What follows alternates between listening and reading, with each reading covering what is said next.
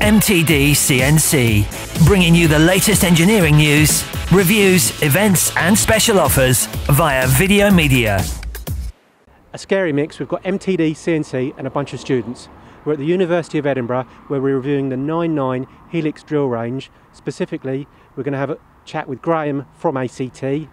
But first of all, let's go and have a chat with Steve, who's from the university's engineering department. Stephen, fantastic facility. Tell us a bit about it. Uh, this is the School of Engineering. We support six um, institutes based within the School of Engineering. We have 150 staff, uh, 350 postgrad students, and over 1,400 undergrad students. So we supply a technical service to all these groups, whether it's research or whether it's undergrad projects. So we've developed this facility within the last five years technically to support the demands of the huge research groups and undergrad projects that we have over the last few years. Uh, the complexity uh, of the parts that we have to manufacture now has you know, grown based on the CAD CAM facilities and CAD facilities that students and researchers now have access to. So we've developed this you know, fairly extensively from what it was five years ago. We're with Graham from ACT. They have the exclusive UK rights to distribute Nine9 tooling. Graham, very interesting looking piece of tooling here. Tell me all about it. This is the latest addition to the uh, Nine9 range. It's the helixing drill. Um, it can go from as small as 13 millimeter up to 65 millimeters using just six tools. Uh, the biggest difference on this tool is the helixing process that it goes through. The insert, if you get a good look at it, uh, it's a sinusoidal waveform on the insert, which two benefits, very short chipping and low cutting force on the machine. On a, this particular application, like on an XYZ, this machine's only got five horsepower, um, so you can produce a decent size hole and a very good depth, you know, with minimum pressure on the machine and load on the machine. So Okay, so low, low horsepower, which is fine. Um, chipping the material. Yep.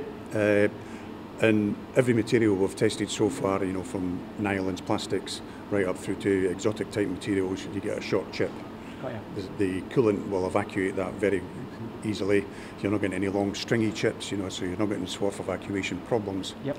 Um, and it works on a low power machine, it works on a, you know, high horsepower machine as well.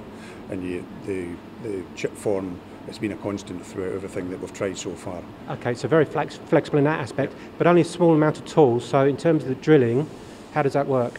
Well, the smallest size of tool actually in diameter is 10 millimeters, and a helix is so it has to helix at 13 millimeters. Um, so in a helix in form, it'll, it'll go down. So it's actually cutting, as in a milling sort of type of form, not just plunging like a normal drill. So the forces are a lot less. Uh, it works calculating wise on its pitch, as in maybe like a thread mill. Mm-hmm. So you're you're generating down. It's producing this short chip with a waveform on the end of it, Yep. and uh, uh, you can produce any hole. Once you get to the 65 millimeter hole using the 32 millimeter diameter cutter, it's infinite. If you want to do a 200 millimeter hole, you just keep pitching across and getting bigger and bigger and bigger. And obviously looking at design, very rigid. It is very rigid, yep. This, uh, we do a solid car- carbide uh, through coolant type with a cartridge on the end, and we do a solid tool for non-through coolant machines. Yep. Um, the core body is solid, bigger diameter. The helix on the, the drill itself is there for two purposes. It draws the coolant down onto the uh, work area, Yep. and it also helps evacuate the swarf.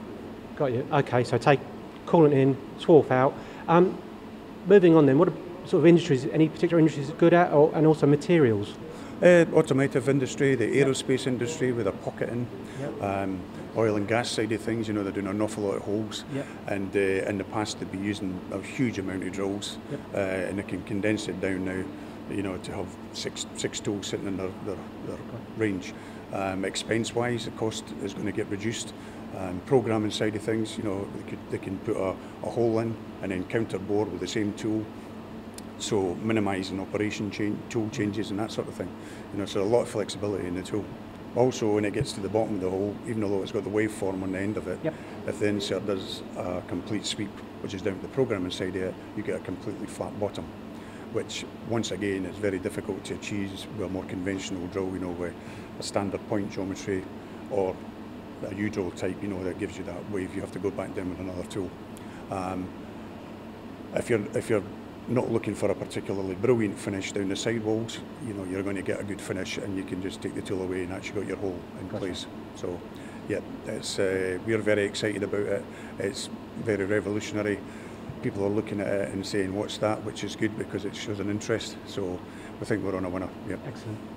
For more videos, products, and news, go to mtdcnc.com or follow MTD Online on Twitter.